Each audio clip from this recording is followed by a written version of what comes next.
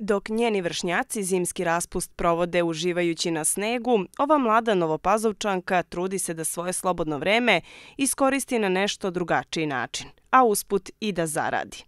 Anđela zarađuje svoj džeparac tako što na piječnu tezgu izlaže neobično božićno žito koje sama napravi.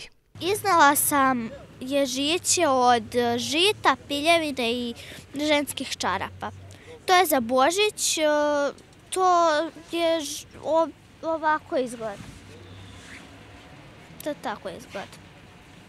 A to se ovako okrene se u, u dubok tanjir i sipe se do ovde voda.